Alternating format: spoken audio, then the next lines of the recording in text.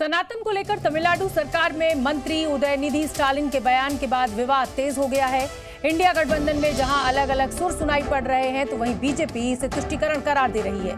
केंद्रीय मंत्री अनुराग ठाकुर कह रहे हैं कि कांग्रेस राम को ही काल्पनिक कहती है। कांग्रेस हिंदू आतंकवाद की बात कहती है। उन्होंने जी न्यूज़ से खास बातचीत में कहा कि सनातन को खत्म करने वाले हाक हो गए सनातन, वही का वही है।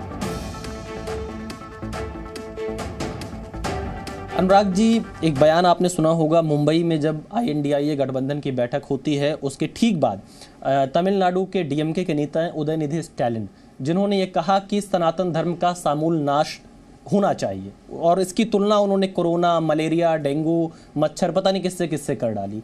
क्या लगता है आपको इस बयान के पीछे क्या सोच हो सकती है?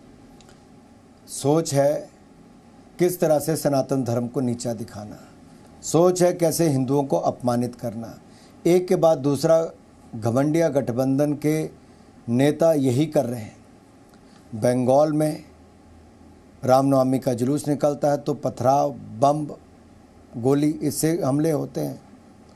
यूपी, बिहार के घमंडिया गठबंधन के नेता रामायण और माँ सीता पर अपशब्द कहते हैं।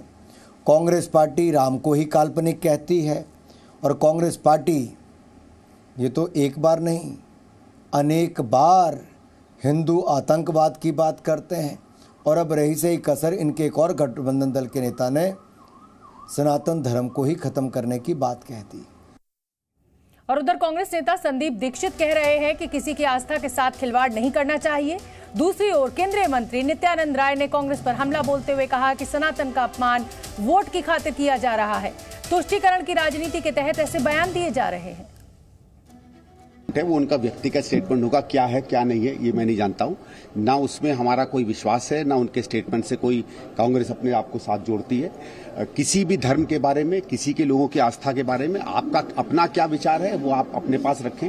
इसको सार्वजनिक रूप से कहना और इस, जिस तरीके से कहना कि इसमें लोगों को एक बुरा लगे, मेरे ख्याल से ये बहुत गलत है। इसकी मैं व्यक्तिगत रूप से भी निंदा करता हूँ। और मैं, हम लोग तो बार बार इस बात को कहते हैं, मैं भी इस बार बार बात में कहता हूँ कि जो राजनीतिक लोग हैं, आप राजनीतिक विषयों पर अपनी बात रखिए, आप विकास के विषय पर रखिए, आप जो राजनीतिक मुद्दे होते हैं उन पर अपनी बात रखिए। एक ये आदत पड़ गई है कि हर व्यक्ति हर विषय पर अपने आप को एक एक्सपर्ट बनाए घूमता, ये भी।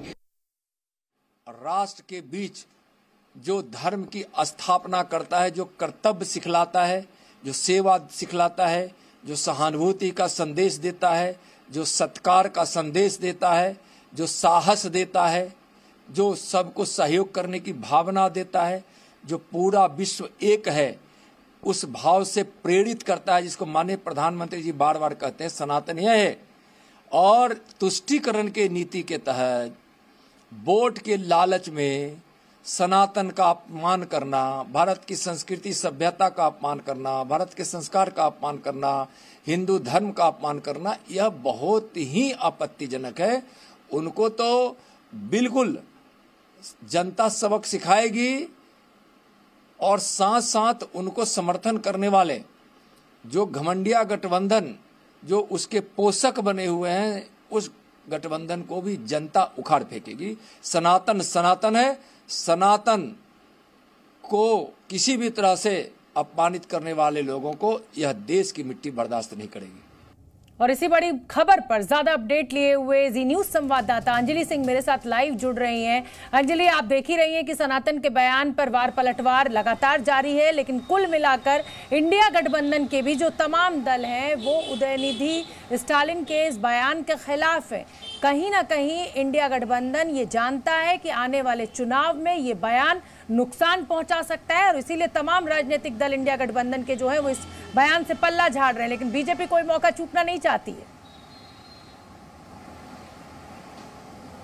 जी देखिए, बिल्कुल आपने सही कहा कि इंडिया गठबंधन के घटक दलों की जहाँ तक बात करें तो इसमें साफ़ तौर पर जो मतभेद है वो दिखता है इस पूरे बयान को लेकर। कुछ एक नेता ऐसे ज़रूर हैं जो इस बयान का समर्थन भी कर रहे हैं, लेकिन ज़्यादातर आप देखेंगे, खासकर बात करें अगर कांग्रेस अध्यक्ष और गांधी परिवार की, इसके अलावा ममता बनर्जी, उद्धव ठाकरे और आम आदमी पार्टी, ये तमाम बड़े दल, बड़े नेता जो हैं, ये इस बयान से खुश नज़र नहीं आ रहे हैं। और सूत्रों के मुताबिक आज शाम को जो मल्लिका अर्जुन खड़गे के निवास पर एक बैठक होनी है इंडिया अलायंस के सभी फ्लोर लीडर्स जिसमें शामिल होंगे, ये भी बताया जा रहा है कि शायद उस बैठक में डीएमके को एक संदेश भी दिया जाएगा कि इस तरह की बयानबाजी से बचने की ज़रूरत है।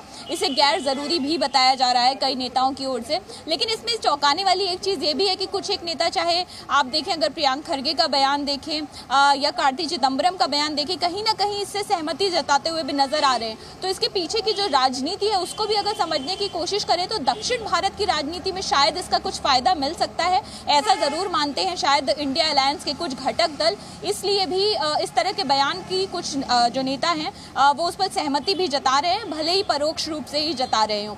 और साथ ही साथ जहाँ तक बात करें मुंबई में अब तक तीन मुंबई की बैठक मिलाकर अब तक तीन बैठक हुई है। और जो क्षेत्रीय स्तर पर है राजनीति की बात तो उसमें ये कहा गया है कि क्षेत्रीय स्तर पर सब दल अपनी राजनीति करेंगे। जी, जी। बहुत बहुत धन्यवाद अंजलि इस पूरे अपडेट के लिए। Z News.